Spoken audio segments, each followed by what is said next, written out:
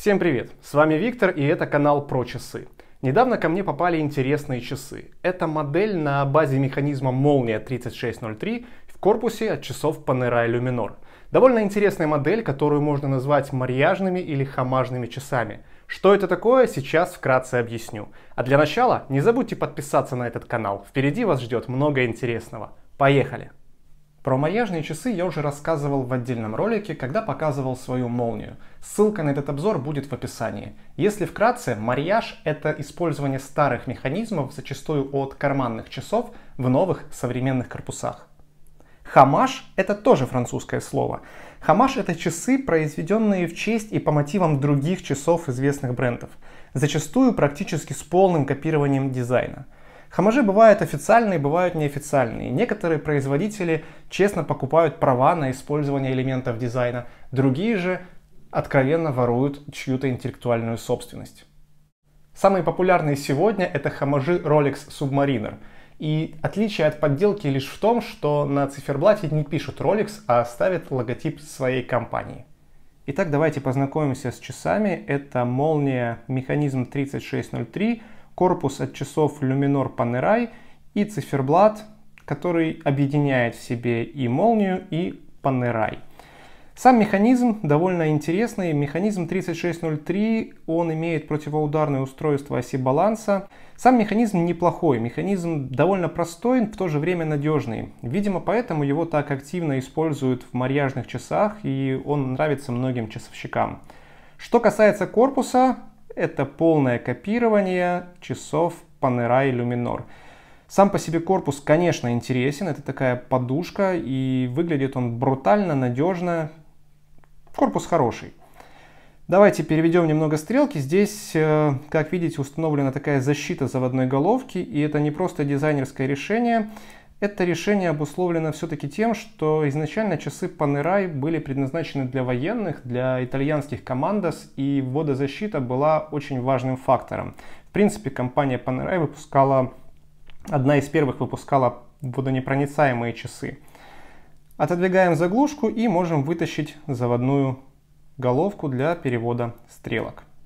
Сами стрелки отсылают нас к часам молния, которые использовались для военных часов, для часов, устанавливаемых в танки, в самолеты. Как раз таки такие стрелки там и использовались. Что касаемо циферблата. Здесь мы видим циферблат типа сэндвич. Это прямая отсылка к часам Panerai.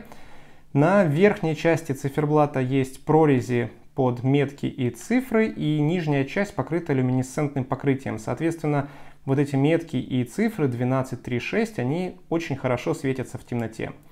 На верхней части видим надпись «Молния», тоже такой не самый стандартный логотип молнии. В основном все-таки используются другие логотипы и малая секундная стрелка. И давайте пройдемся по основным габаритным размерам этих часов. Итак, диаметр корпуса составляет 44 почти миллиметра. Если взять от ушка к ушку 52 миллиметра.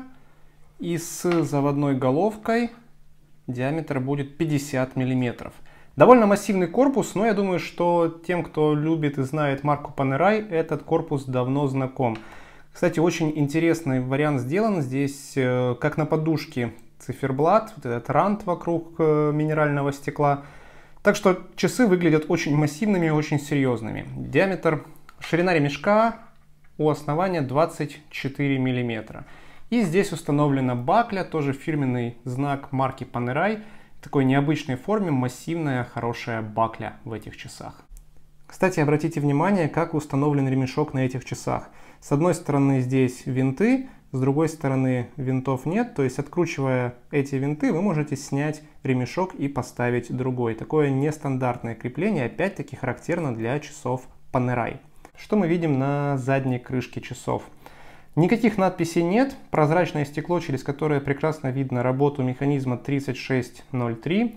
Кстати, механизм совершенно не имеет никаких изменений, ничего здесь не добавлено, не изменено, нет никаких гравировок. И с одной стороны это очень здорово, потому что никто в этот механизм ничего своего не добавлял. Мы видим его таким, которым, каким его и производили в советские времена. Задняя крышка часов закручивается и обратите внимание, здесь особый ключ необходим для того, чтобы открыть эту заднюю крышку. Такие крышки как раз таки устанавливаются на часах Panerai. Я не знаю точно, с какой целью в Panerai придумали вот такой метод крепления задней крышки. Возможно, для того, чтобы как раз-таки итальянские военные, итальянские солдаты сами не пытались ремонтировать эти часы, а все-таки пользовались услугами официального сервиса. И давайте немного поговорим про механизм, который установлен в этих часах. Это механизм молния 3603, который разработан на базе калибра 3602 и отличается от своего предшественников наличием обновленного узла баланса с противоударным устройством. Этот калибр выпускался на Челябинском часовом заводе «Молния» с 1984 по 2008 год. И недавно, с 2018 года, на ЧЧЗ возобновили производство механизма 3603 и выпускают уже свои часы «Молния», обновленные в новом интересном дизайне. Такой, так сказать, трибют часов «Молния» советского производства. И этот механизм выпускался раньше, выпускается сейчас, и это еще раз подчеркивает его надежность, его простоту и то, что часы с таким механизмом еще долго могут вам служить. А через прозрачную заднюю крышку часов очень здорово, очень интересно можно наблюдать как раз таки за работой этого механизма. Смотрите, как отчетливо видно работу и анкерной вилки, и узла баланса, и в принципе движение всех шестеренок. Кстати, обратите внимание, в этих часах используются два варианта люминесцентного покрытия. Один вариант такой более зеленого яркого оттенка установлен на метках и цифрах. Второй вариант установлен непосредственно на стрелках.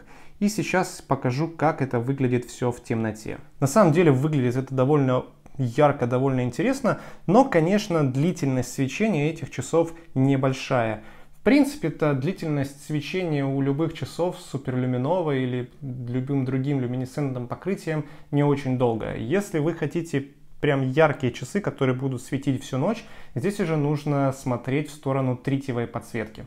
Что касается общего впечатления от этих часов, мне они понравились. Часы довольно интересные. В принципе, использование механизма молния и корпуса Panerai это довольно интересное и популярное решение. Что касается цен на эти часы, в принципе они варьируются от 100 до 300 долларов. И на цену влияет несколько факторов. В первую очередь это сам механизм, механизм от молнии. Эти механизмы можно купить в довольно большом количестве, но все они отличаются своим износом, и многие механизмы требуют ремонта. Найти же механизм в идеальном состоянии, в принципе, уже большая редкость. И второй вариант – это сам корпус. Корпуса покупаются в основном из Азии, и вы можете выбрать любой вариант. Вы можете выбрать корпус от Luminor Panerai, от Panerai Radiomir, либо корпус, который не будет откликаться с часами этого известного бренда. И третий, самый важный, пожалуй, фактор, который влияет на цену этих часов, это, конечно же, мастер, который эти часы для вас произведет. Сейчас очень-очень-очень много развелось мастеров, которые делают часы в стилистике панера, используя механизмы молния, ну, либо просто марьяж молний. И от того, насколько мастер профессиональный, в принципе, и зависит их цена. И в этом моменте я не рекомендую экономить, потому что часы все-таки не самые дешевые, и если вы хотите, чтобы они долго и надежно вам служили, если вы хотите, чтобы качество исполнения было на высоте, Рекомендую обратиться к мастеру, которому вы доверяете, который сделал уже немало таких работ. Напишите в комментариях, что вы думаете, это все-таки хамаш или же марьяж. Будет интересно услышать ваше мнение. А на этом все. Спасибо за просмотр. До новых встреч на канале. Пока-пока.